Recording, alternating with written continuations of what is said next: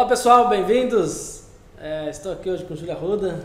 Prazer é imenso estar aqui com esse garoto fera em VSTS. É, e a grande, a grande sacada de hoje que eu quero passar para vocês algumas informações sobre é a, a tal jornada para a cloud. Né? A gente tem ouvido muito falar em cima da transformação digital, né? cloud, nuvem. E quando a gente fala de nuvem, Júlio, dentro do mundo de desenvolvimento de software, o, o que a gente tinha lá era o TFS. Sim, o Team Foundation Server. E agora, o que, que eu tenho? Agora a gente tem o chamado Visual Studio Team Services, que é basicamente a mesma ferramenta que antes estava on-premises, agora veio para o cloud da Microsoft no Azure para você. Onde agora você não se preocupa mais com instalação, com update, com backup, com nada. A Microsoft garante isso para você. Tem uma dúvida hoje que é a dúvida da grande maioria dos nossos clientes, é com relação à identidade no gerenciamento do meu código fonte em cloud.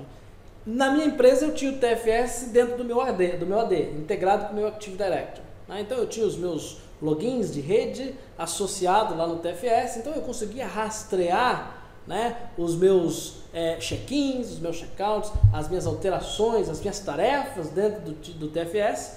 É, e quando eu vou para cloud, como é que eu consigo estender esta facilidade de usar o meu único login da rede?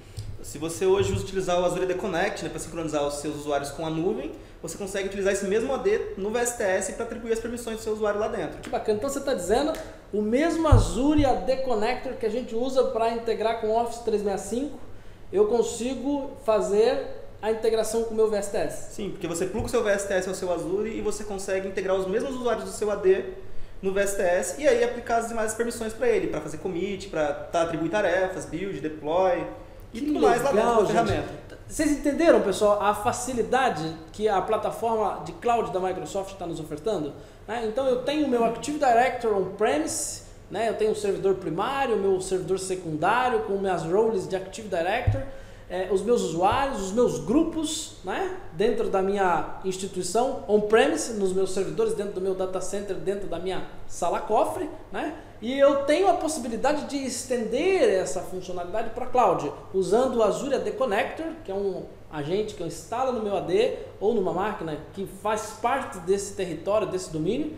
É, este agente vai ler a minha base LDAP do Active Directory, pegar os objetos que eu selecionar que devem ir para a cloud, eu consigo selecionar por OU, né, unidades organizacionais, e eu pego esses objetos e levo sincronizo com um segundo Active Directory em cloud que vai passar a ser uma réplica do meu Active Directory on-premise. Tá? E ele sincroniza usuário, ele sincroniza grupos e ele sincroniza senha, que é o mais legal. Porque hoje a grande dificuldade de cloud é diversas plataformas, cada uma eu tenho um login e senha diferente. É, né? isso é verdade. Você Então- loga em Facebook com uma senha, loga em e-mail com outra, isso é realmente muito chato. Então, pessoal, olha que facilidade bacana a gente poder estender aí a identidade para a cloud. E a- usando esse Azure AD Connector, eu consigo estender a minha identidade, usar no VSTS, usar a mesma identidade no Office 365, usar a mesma identidade para Dynamics CRM, para outras ferramentas da Microsoft Cloud, inclusive para ferramentas de terceiro, como Salesforce e assim por diante.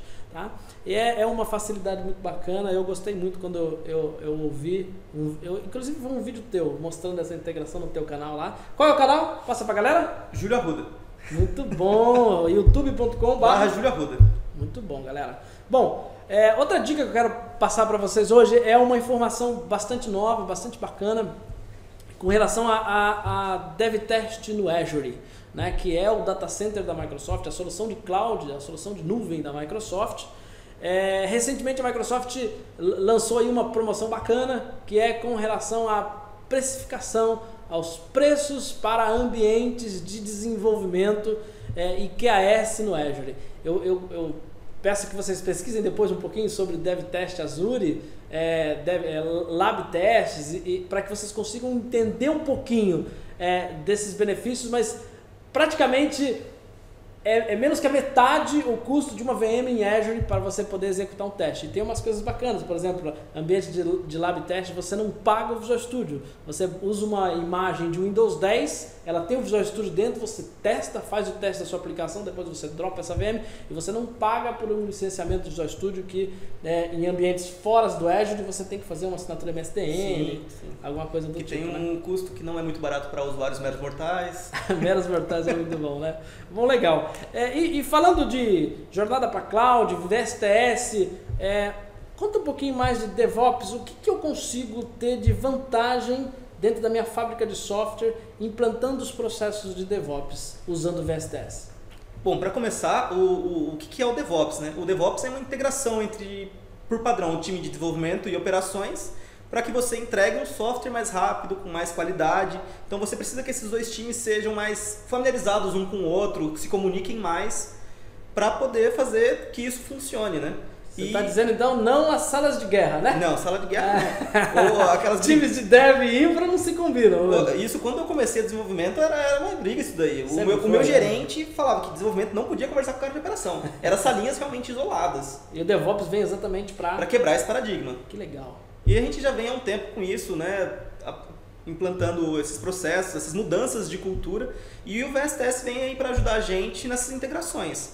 Ali dentro nós temos uma série de funcionalidades e ferramentas que possibilitam o desenvolvedor e o time de operações a faz, se integrar um pouco mais nisso. A gente tem gerenciamento de código fonte, utilizando o Git, ou o TF Version Control, que já veio do antigo TFS. Bacana. Você tem gerenciamento de tarefas, que você tem o seu Scrum Board lá dentro, o Kanban e você vincula isso com o seu código-fonte, com as suas alterações, para trazer rastreabilidade.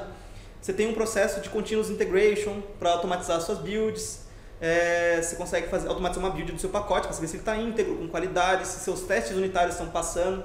Se seu teste quebrar, sua build não, não é concluída e isso não pode ir para produção depois. Que legal. Você tem um conceito também de, de deployment automatizado, que você configura os seus ambientes, configura o que, que sua aplicação precisa para funcionar lá dentro, que passos ela tem que executar para ser implantada lá dentro. Você pode definir aprovadores, agendamentos, para que isso seja promovido de desenvolvimento para homologação e produção sem interferência humana. Que legal. Então você está me dizendo, Júlio, que todo aquele roteiro de execução e implantação que hoje a gente aplica lá dentro da RM, da, da requisição de mudança, dentro de governança, de ITIL, ah, você está dizendo que eu consigo tirar isso hoje da cabeça do, do cara da infra, do cara do dev e implementar scripts para que Sim. ele provisione isso automaticamente para mim? Sim, inclusive ninguém mais precisa ter senha de nada, o desenvolvedor não precisa ter senha de ambiente de nada, porque se configura no seu processo com usuário, senha da máquina que ele vai ter que fazer o deploy, isso fica embutido lá dentro, criptografado. Ninguém mais vê e o processo faz tudo sozinho para você. E como é que o Visual Studio, é, é, o VSTS, lida com ambientes open source? Isso hoje nós temos agentes, por exemplo, de build deployment que rodam em Linux, que rodam em Mac. Então, independe da plataforma que você desenvolve, a gente consegue atender você. Embora o nome seja Visual Studio Team Services, que te remeta a Microsoft, a Visual Studio, a gente atende qualquer plataforma, qualquer linguagem com essa ferramenta. Que legal, bom. Vocês entenderam, né, pessoal, que a, a Microsoft ela vem é, é, se transformando, né? inclusive o próprio slogan dela é, é, não respeitamos tradição e sim respeitamos inovação. É, é, algo bastante forte, né? Mas eu, eu acho que isso vai de encontro, porque é, antes a gente tinha dois mundos, né? Dev e infra, antes a gente tinha dois mundos, Microsoft e Open Source. É, e hoje a gente olha, por exemplo, dentro do Azure, né? Do data center da Microsoft, o tanto de imagens que a gente tem de Linux, de Open Source, ferramentas de terceiro lá dentro é, é, bacana a gente ver isso. Se você né? falasse isso alguns anos atrás, eu te chamar de louco, né? É, eu já quase apanhei numa palestra que só tinha aluno de Open Source e eu fui falar de SharePoint, olha que legal. é, eu fui falar de VSTS com o público de Java também, eu quase apanhei um tempo atrás. que bacana. Mas é legal, gente. Então, assim, é, agradeço vocês pela audiência. É, Júlia Arruda, obrigado pela oportunidade de poder entregar um pouco mais dessa expertise de VSTS para a galera. A gente se vê na próxima, galera. Até mais. Tchau, tchau. Falou.